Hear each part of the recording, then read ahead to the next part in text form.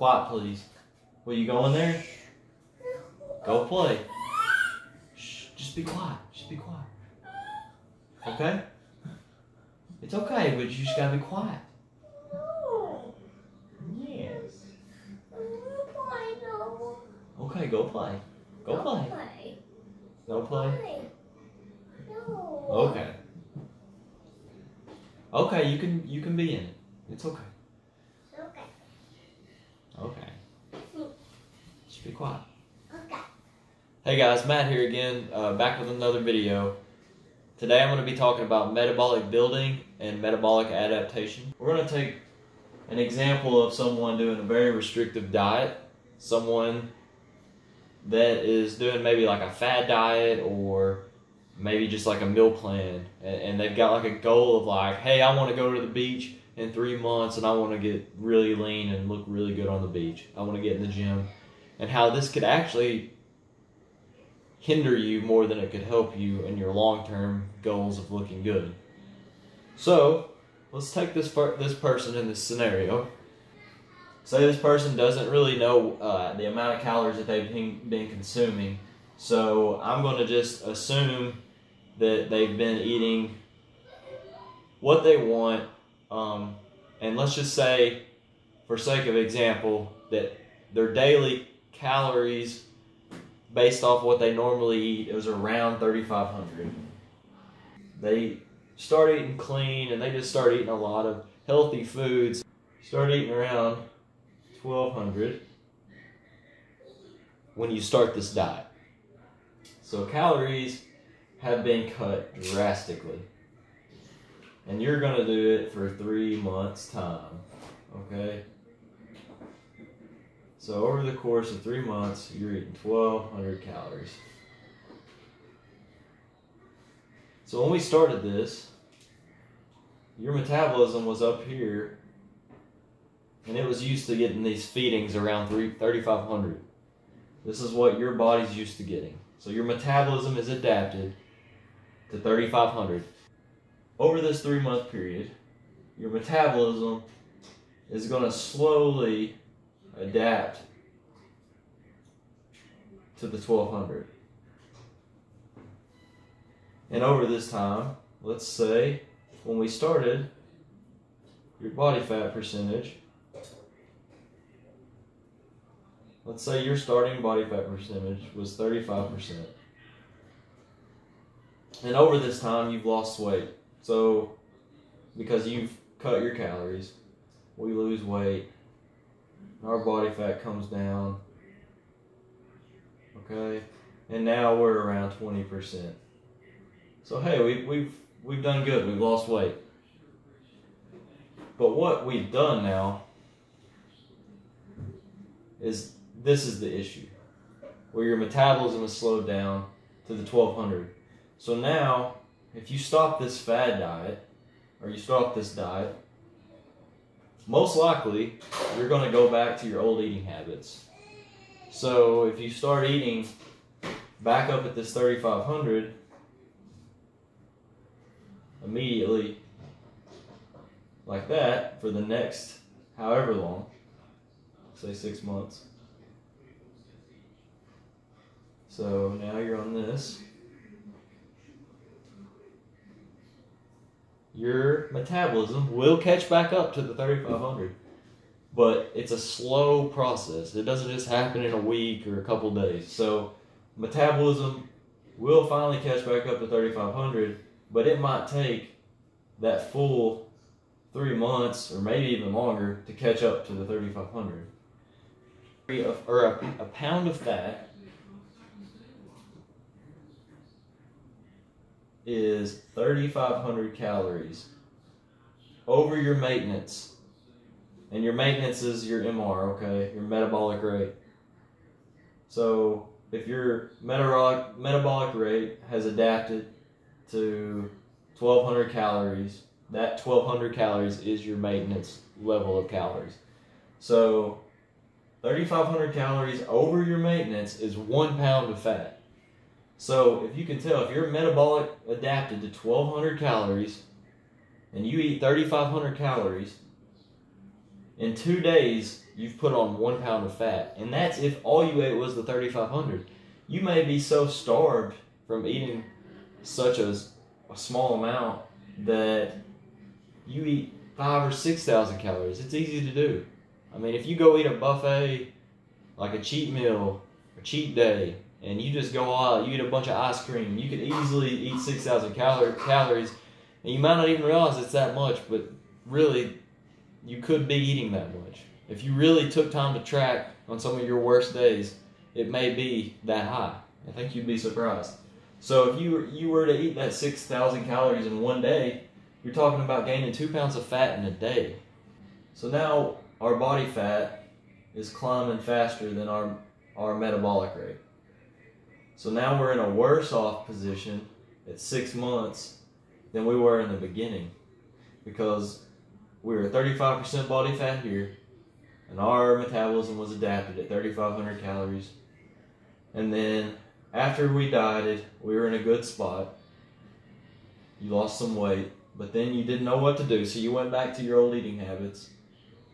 And you've created this gap here. And now let's say we're at 38% body fat. And let's you could even take into account that your metabolism never fully recovered. Okay? So now you've created this gap in your metabolism. You're at a higher body fat. And then when you go into next year, you do the same thing. This is this is the scenario I think that happens to people. I think a lot of people fall into this. The reason is this big restriction in calories. This huge restriction because we don't know any better. And of course, you're going to lose weight, but you could have lost weight eating a lot less or a lot higher than this. So, I want to kind of show you now how you could correct this if you were in this scenario. So, for in this scenario, you dotted down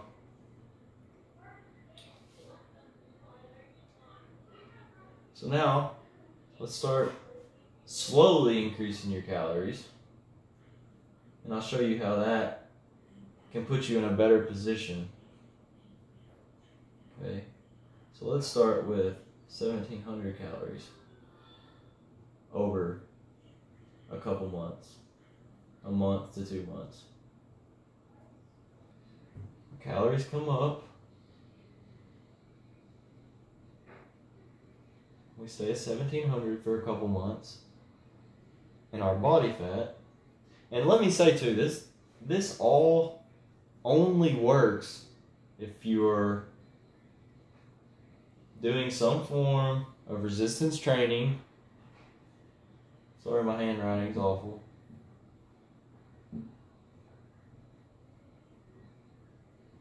okay and you're eating the correct macros in this scenario, we're giving our metabolism time to slowly catch up to the 1700 and we are limiting our fat gain. Okay? And then we slowly go up to 2200 for a few months.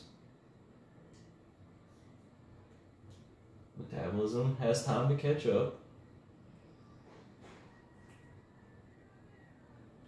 And fat gain is still going slow. Okay? And we just keep this trend going over the course of a year.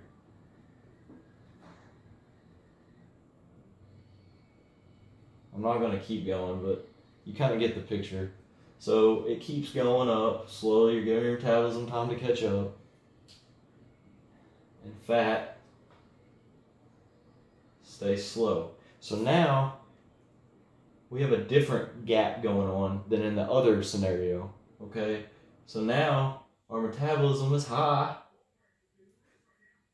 And our fat is, let's say, we never even got back to our starting body fat. So now we're at 30%.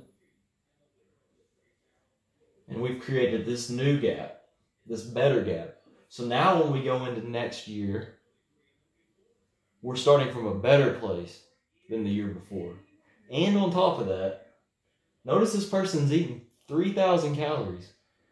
Yes, you have to factor in eating your correct macros, getting protein in.